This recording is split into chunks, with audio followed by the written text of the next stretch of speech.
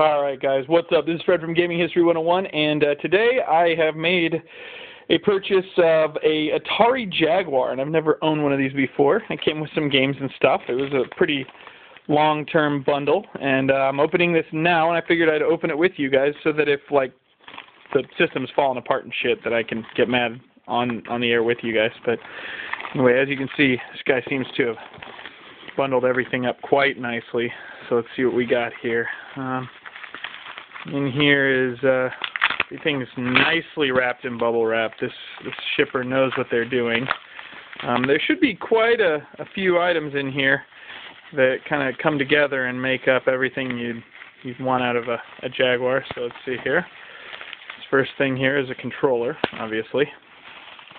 Let's get it out. Okay. Here's a Jaguar controller.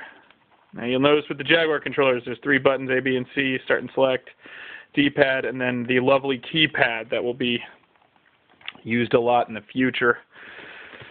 Uh, see here, there's the second controller. Then in here, manual and merch of Cybermorph. Now most of these games came boxed. In this particular case, Cybermorph did not because it came with the Jaguar. So there's Cybermorph with its manual. And the guy has kept the Jaguar manual. So I didn't know this came with it, but that's pretty cool. So I got the user guide, and he even has the Jaguar, which was a uh, a bunch of crap you could buy to uh, show off the fact that you just spent 250 bucks on a console that no one was going to make games for. So that's pretty slick. Um, you know, again, this was this was nothing back then, but now this is uh, this is some fun collector stuff.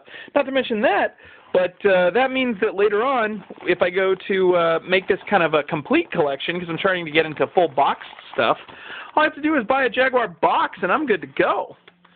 So, all right, let's see what this is over here. There were a couple accessories included with it, and let's see what this is.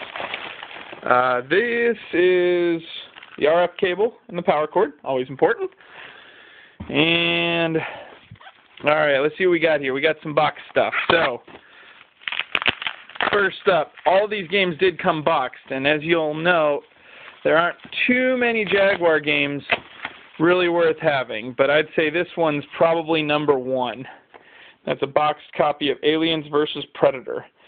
Now, with this game, uh, much like the uh, Sega one that came out recently, um, you know, there's three campaigns: Alien, Predator, and Colonial Marine. And uh, this version's a box copy that has all the inserts and things like that. I might open one of these up and show an insert off, but in the interest of time, I'm going to look through all of them as fast as possible. Uh, and then, obviously, if you're culminating a uh, Atari Jaguar Essential Collection, um, I would say this is probably number two. Ugh. You love that opening the box cam, uh, which is Tempest 2000. Again, the draw of this bundle was all the box copies. So there's a Tempest 2000 right there, boxed up. Next up is the Jaguar Team Tap. Now this, let's see if I can, I, I don't do many unboxing videos, and those of you who watch them know that aside from the merchandise being good, my unboxing videos kind of suck. But uh, see how quick I can tear through this with one hand. The Team Tap, and this looks boxed and in great condition, like rack condition, um, was made for the Jaguar, which allowed you to put four controllers in for uh, four-player games, including one of the games that I did get today. So that's pretty cool. Um, the game that I got in question is, as you can see, NBA Jam Tournament Edition. So I'll see if I can get this open real quick and easy like. I think this one's come out a little faster. So anyway, ugh. now I don't know how rare this one is, but I've been told this is a very good version of uh, NBA Jam TE, and since it's one of the few sports games I do like, um, look forward to playing that. And then last but not least, these are probably two hotbed ones. Um, he warned me that uh, he found this Wolfenstein at a garage sale, and so it probably wouldn't be in very good condition, but uh, I'd say that if it's got a box, it's in better condition than a brunt of the uh, Jaguar games on the market. But here's a box copy of uh, Wolfenstein 3D. And then last but not least, I would say another gem from the Jaguar age, especially because uh, this was the first time where instead of just being a port that was usually stripped down, this actually took a game that existed and enhanced it, which is Doom. So here's a box copy of Doom, which I believe has extra levels and some extra special stuff that uh, other versions did not have. Now let me see if I can open this up real quick, kind of show off what an insert in a Jaguar game looks like.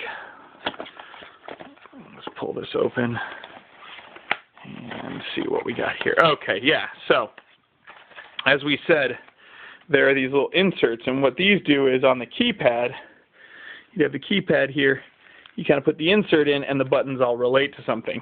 In Doom, this was particularly useful um, because it allowed you to uh, um, put the uh, or switch weapons at will, so you didn't have to scroll through them like you had to in uh, other versions that weren't the PC version. And I'd say we should bring the guest of honor out and show him off. Um, this is something I've never seen outside of a box before, which is the console itself. So bring this down and get it all set up real quick. Now, of course, knowing me at Gaming History 101, you can expect a lot of videos of gameplay of these games and maybe a couple others I'll pick up shortly um, because there's really not much more I want for the console other than maybe Kasumi Ninja and something else. But, oh, I've also got Raiden uh, that I want to pick up, but I, of course, you know, haven't gotten to it yet. Um, but, mm, last but not least, the fabled Jaguar console. Never had one of these in my hand before, but looks nice. There's not a scratch on it. All the hookups look good. Anyway, so there you go. There's the Atari Jaguar, along with a slew of games. Fun little collection, and probably the most money I've spent on a retro uh, bundle in a while. So, uh, without further ado, we'll call it a day. But uh, you can check us out at Gaming History 101, where uh, undoubtedly on this uh, channel I will be having some videos going live soon. So, without further ado, have a good one.